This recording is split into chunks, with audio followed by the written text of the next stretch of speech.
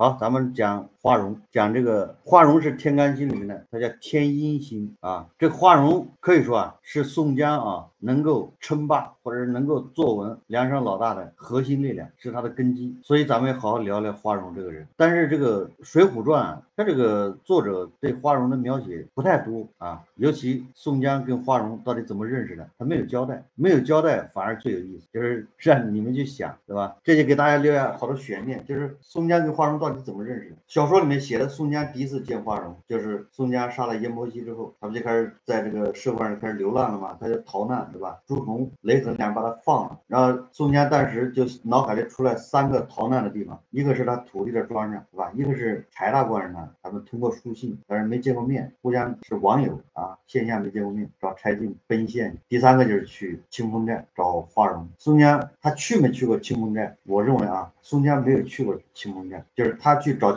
花荣那是第一次，他路不熟，所以被那个啊清风山的那几个土匪燕顺、王英、哎邓天寿，对吧？给他抓住了，哎，差点把他挖心给他吃了。后来他说出自己名字，那个燕顺一听，哎，你是宋江，哎，立马对吧就拜。完了之后就这样啊，呃，宋江从那个清风山出来，到了这个啊，对了，这个必须要交代一下，他在清风山坏了这个矮脚虎王英的好事。这王英正好就是下山的时候抓住了那个清风寨这个镇之寨或者叫文之寨刘高他的老老婆，哎，把他老婆抓住之后，这个王英就准备对吧，要要。要要办事，结果这个宋江就非要坏人家好事。那个呃，燕顺还有邓天寿啊，就拦着宋江说：“你别坏人好事，对吧？”这宋江说：“不行，那哥们就要进去看看，对吧？”他托大，还宽敲门，然后撞门就进去了，把这个王英整的，反正后面出了好多事嘛啊。他救了这个女的，好，后面这宋江就去那个清风寨，这个清风寨他就去了之后就问：“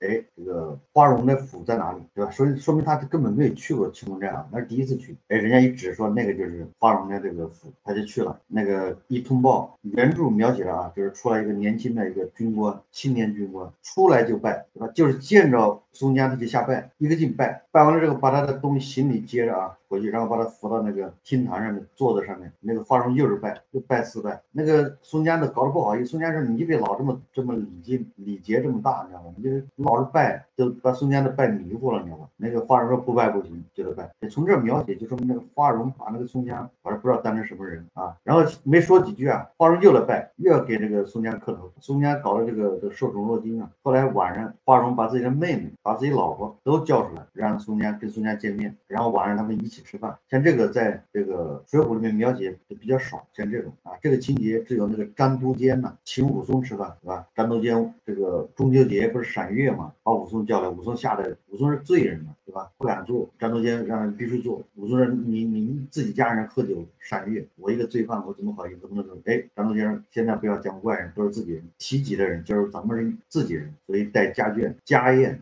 那武松才敢半个屁股啊坐在那个凳子上面，都不敢全屁股坐上面，半个屁股坐在那儿跟人喝酒，然后把介绍那个使女养女玉兰啊介绍给武松嘛。就是说，我说这个什么意思呢？就是宋江到了花荣家，花荣把他老婆、把他妹妹，他那他那妹妹啊，应该挺漂亮的，因为花荣长得很帅，你知道吧？叫天阴星嘛。花荣恐怕是那个是梁山为数不多的长得帅的，因为梁山长得一般都是歪瓜裂枣嘛，都是那个李逵啊、鲁智深这种人，知道吧？还有宋江。又黑又矮又矬，然后王英这样的矮脚虎，还有个宣赞的什么丑靴马，对吧？鲁智深也丑啊，鲁智深丑的不能当和尚。第一关容貌就没过啊，五台山的和尚就不要了。第就第一关面试啊，你看你考公务员也得面试吧，对吧？现在官得得端正，鲁智深都没过，就是都是丑。但是你看花荣仪表堂堂，那叫天阴星嘛，英姿飒爽。好，然后花荣就说了一句，他说自从上一次一别啊，五年，那就是说他上一次跟宋江见面分别之后五年了，这是第二。次见面，那我想上次见面肯定不在清风寨，因为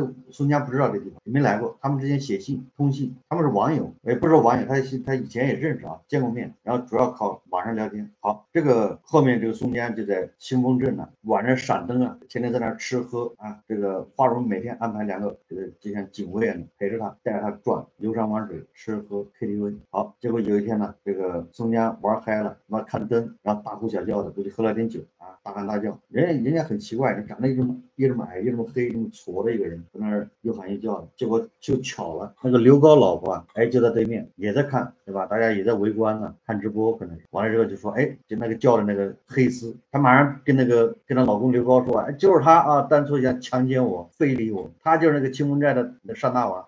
刘高一听，那你了得，赶紧把派人把那个宋江给摁住，给宋江给抓了。抓了之后送到这个刘高家里，刘高就审讯他，宋江不招，不说话。那个那个刘高老婆就跑出来了，当场对质，说你忘了对吧？你你偷拍对不对？不是好汉做事好汉当。宋江说我没有。宋江说我你谁救了你不知道吗？然后那个他老婆就说啊谁救的我不知道，但是反正我就知道你是老大，你坐在那儿你你你让我给你磕头，完了之后下面都叫你老大，你要非礼我，你自己忘了是吗？摸没摸吧？有没有脱衣服吧？那个宋江百口莫辩。然后这个刘高老婆还说了，这种人不打他怎么可能招呢？啊你看看他破皮无赖，好那就打呀。原著里面写了啊，打两遍，打两遍什么意思呢？就是就比如一遍五十棍啊，三十棍，三十棍打完之后再打一遍，你知道吧？打两遍，把那个宋江打的，对吧？马上招了，说他是郓城县的，叫张三。然后这个刘知县，那个刘知寨啊，马上给他写成叫郓城虎张三，就给他起个外号叫运城虎张三。然后是清风山老大，就是匪领匪首。你看这个就是冒功啊，就是他得你抓住一个人，你得把这个人再吹一吹，对吧？你如果是抓个小喽啰、小毛贼，立不了功啊，对吧？有什么用啊？你得把他吹吹到是他是清风山寨寨主，对吧？然后他也还有外号，他叫运城虎张三，这样把他押到那个青州府啊，找那个慕容知府给领赏，对吧？你看我把这个清风寨寨主给抓住，把他人送外号运城虎。那宋江一想，我完了完了，这他妈这山冈山县是不是？这要他死啊？跟那个谁呀？跟大鹅呀，对不对？你你打中了坦克，你说是 T 七二有用吗？他必须是挑战者，要么就是报二，对吧？打中的肯定是报二。没毛病，那邵师傅汇报就这么汇报，反正地包老人也不认识，对不对？你看刘志寨就这么干。当初宋江跟那个华容讲的时候啊，他说我在那个山上，我还办了一件事，我救了那个刘志寨老。华容一听脸就绿了，哎，他说大哥你救他干啥？哎，宋江说，我听说他是清风寨的知寨的老婆，他是你同事啊，我救了他，这样不对你你们关系不更好吗？那华容说，哎呀，我跟那个刘志寨关系就是差，就是文官和武官之间内斗，对吧？互相看不惯。完了他说了，有。尤其是他老婆，这个刘志寨坏，主要是他老婆坏，他老婆最坏。这个女人就应该在那个山上被人蹂躏，对吧？结果你还把她救了，你这个。然后这个宋江就批评志寨，就是华容啊，说你这个格局小了啊，这个同事，对吧？同事老婆，这个这样以后你们在这一些好共事啊。实际上华容知道了，他们之间为这个讨论过。然后这个不有人回去找华容知汇报了吗？对吧？说你那个好大哥被刘志寨给抓了。华容一听，当时就傻，因为他知道这个宋江是。杀了阎婆惜之后，对吧？他是在逃犯，现在是全国追捕他，通缉他。结果这一下落到这个刘志寨手上，那不就完蛋了吗？所以这个花荣，这这人很有意思，他写了一封信给刘志寨，他不自己直接去，就说明他们关系比较差。按理来说，我骑个马过去，直接就跟他要人，说，哎呀，搞错了，自己人。那个华荣啊，他不，他写了封信给刘志寨，他说，哎，老同事啊，我一个亲戚啊，叫刘湛，来我这玩儿，对吧？结果被你误捉了，你把他抓去了，这个大水。冲了龙王庙啊！一家人不认识一家人，你你把他放了吧，我派人来领。结果你说这个刘志寨啊，他一看这个大鱼就上钩了嘛。这个宋江自己招认了。他是清风山的头领，结果你花之寨居然说他叫刘璋，人家叫张三运城虎，你说他叫刘璋，你在这打马虎眼，对不对？你跟这个这个这个土匪有勾结，所以他不还，完了之后他准备要抓这个花荣，花荣一看不行啊，所以他就直接带人啊，这回他带了人直接跑到那个刘志寨那儿，把宋江给抢了，找花找那个刘志寨找不到啊，躲起来了啊，在那个旁边房间里，宋江吊在那儿，把宋江抢下来带回去，哎，这个刘志寨一看，居然。敢在我这抢人，那我也带人过去抢，所以刘志寨就派了一百多人。刘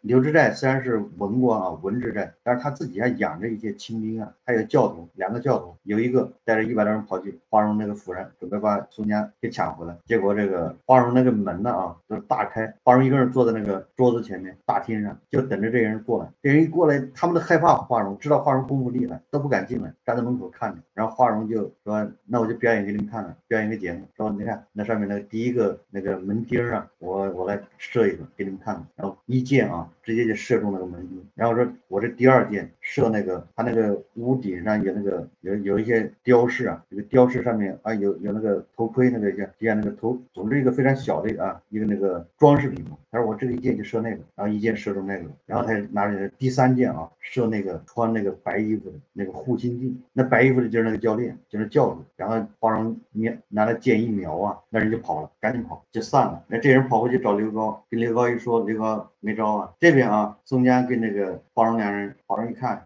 打成这样，就问他，宋江就说了，他打的我实在我受不了了，我就招了啊，我是闰城县张三，说刘高把我写成润州虎张三，这是要杀我，说我是这个清风山的。好了，这花荣一听就完了，是吧？这就是要下死手。然后宋江就出了个主意，宋江说你这个，你把我从他抢过来，他肯定要把我抢回抢回去，他。肯定要来找，你不找他也会先先让我报告，以后来找。不如啊，我跑了算了，是吧？那个花荣说你去哪儿呢？他说我连夜回青龙山，这只要我不在，我走了，他找不到人，然后你就可以不承认，你就说这个，对吧？这个刘高就是诬告，因为抓不到证据啊。这个刘高就纯粹就是打击报复，文文官武官，文官武将不和，最后顶多是这么个结局，因为抓不到正身嘛，你怎么怎么证明啊？对吧？这个人怎么就不是你刘高虚构的呢？宋江想得好，他说我跑了算了，这个花。人一听说是啊，那只要抓不住你，这事就还那我就没辙。结果花荣就说了，就你这样能走吗？宋江说，哎呀，顾不得这么多了，我这个贴几副膏药，晚上我能走不能走我都要走。好，宋江就搞点膏药一贴走了。那边刘高啊，他那个智商，他打仗不行，但是他智商明显比花荣要高，对吧？他就算到了这个宋江这个诡计。他说这个时候啊，花荣把宋江逮过去之后，一定会把他放跑的。只要宋江跑着了，那这个事情就无头案了，对吧？证据不在我手上，完了之后到青州府慕容知府那告状没有用，你没有证据，这个就扯。说这个花荣一定是晚上要把这个宋江送走。好在那个清风寨恐怕就只有那么一条路，对吧？你要不管去哪儿就那么一条路，所以这个刘高就说，晚上就带几十个人在那个路上埋伏。果然啊，晚上这宋江又被人逮住了，逮到刘高那，这刘高这回把他用个大囚车啊给他囚禁在里面，脑袋上缠块红布啊，搞得像杀大王的样子，是吧？然后后面插个标叫运城虎张三，准备第二天给他押送到这个青州府。结果这个刘高啊，他派人啊。把这个事情报告到青州府去了，他想把这个花荣一把给逮住，给青州府那个知府叫慕容什么知府吧，他是宋徽宗这个应该是贵妃还是或者是皇后弟弟，这个慕容知府啊，他就说了一句话，哎，他说这个花荣啊是名门之后，应该是功臣之后，这个事情很大，不能开玩笑，一定要把这案子查实了，对吧？这是掉脑袋的事啊。如果说花荣跟那个青峰山有染的话，那意思慕容知府是不太相信这个，对吧？他让人一定要把事情查清楚，而不能说这个刘知。知寨怎么告，哎，他就怎么信，所以他就派那个郑三山黄信啊，派人去，你把这事情调查清楚。这个黄信啊，那跟那个邵师傅是一样的，叫好大喜功。他为什么叫郑三山呢？那个青州地面上就三个山有土匪，一个就是青峰山，一个是二龙山，就是鲁智深、杨志、武松，还有一个是桃花山，就是那个李忠啊，还有周通，三个山。黄信说是镇三山，这三个山都被我镇住了。他没事就是去剿匪，对吧？剿一次匪他就赚点钱，是吧？反正天天剿匪，天天赚。然后每次剿匪都逮了一个匪首，把他砍掉之后又来一个匪首，对吧？反正没完没了的，天天剿匪。然后说他说他是郑三山，这回又是故伎重演了。你看清风寨的那个匪首运城虎嘛，张三被逮住了。你说黄信他能错过这个机会吗？所以他到了这个清风寨之后，把这把案子要办成铁案，不仅是把这个匪首给抓住了，还把这个知寨花荣给抓住了。哎，他们就是一波的。那这样他不立功立的大吗？所以他就给那个刘知寨出了个馊主意。哎，他说啊。你抓住宋江，那个花荣知不知道？刘知寨说不知道。好，黄金就说了，那你呀，在那个他们文治寨和武治寨有个公用的大厅开会，在那个大厅里面，你把羊啊、肉啊、酒啊准备好，啊？然后我亲自去请这个花荣来赴宴，就说啊，慕容知府派派我来劝和的，说你们文官武武将不和，让我来劝。好，这个黄金啊，就跑去把那个花荣给骗到这个大厅里，结果摔杯为号嘛，对吧？们也劝了一会儿啊，这个黄信一看时机成熟，把杯子一摔，那后面就出来四五十人，把那个花荣给绑住了。花荣说：“你，哎，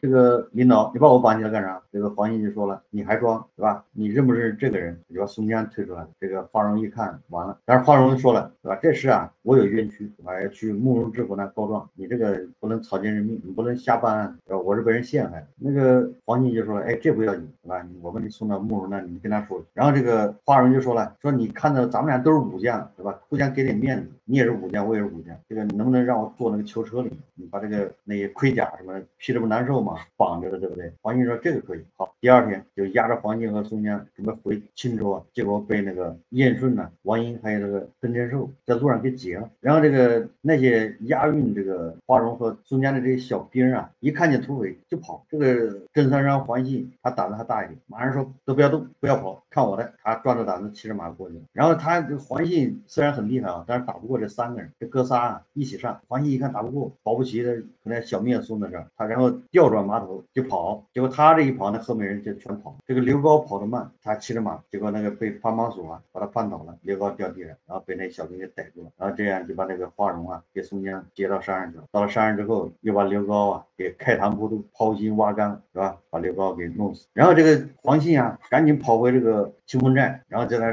守着寨，然后一边给这个慕容知府报告。这个慕容知府立马派那个秦明嘛，霹雳火秦明啊，说你赶紧去。秦明说这些小毛贼有什么好怕的？我去带上五百人，我把他给灭了。所以秦明就去剿灭这个清风山。结果这个时候啊，这个战实际上是花荣指挥的啊。宋江啊，实际上按照原著说法，那就是花荣指。花荣说啊，大家不要慌，听我的，这个战应该怎么打。所以秦明到了这个清风山之后，就被人耍的团团转嘛，从东面跑到西面，西面跑到东面，就是他他这要上西面上山的时候，东面开始敲锣打鼓，说哦我们在这儿，我们在这儿，过来把那秦明骑着马到这边，刚山这边东面山人也不见了，西边山也在敲锣，说我们在这边。完了这个花荣啊，他把清风山后面一条河，他用他用袋子把它水把那沙袋把它堵起来了，